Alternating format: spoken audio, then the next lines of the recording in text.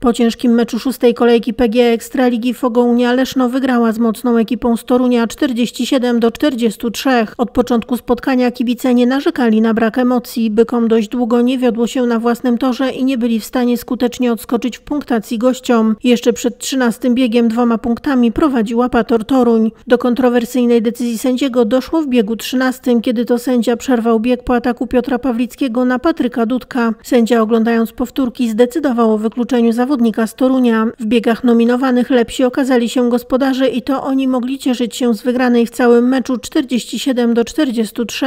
Najlepszym zawodnikiem spotkania został Janusz Kołodziej, dodatkowo poprawiając rekord toru w Lesznie.